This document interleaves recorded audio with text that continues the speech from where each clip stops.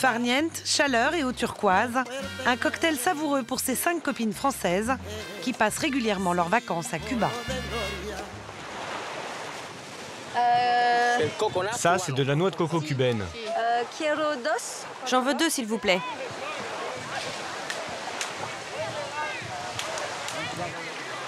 Merci, monsieur. Je sais même pas combien ça coûte. C'est combien Une, c'est deux pesos. Donc les deux, ça fait quatre pesos. Franchement, elle est bonne. On voit qu'elle est fraîche.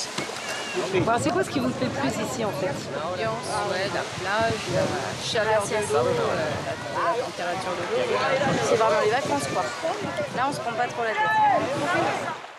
Les vacances, mais pas forcément pour tout le monde.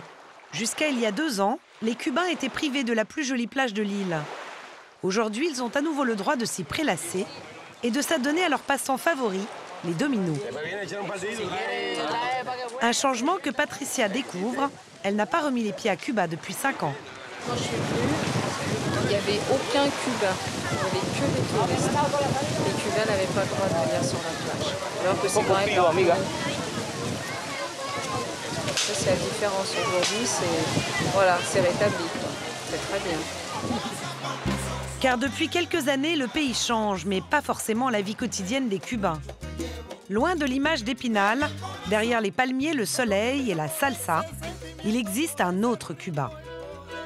Celui des interdits, des privations et du manque de liberté.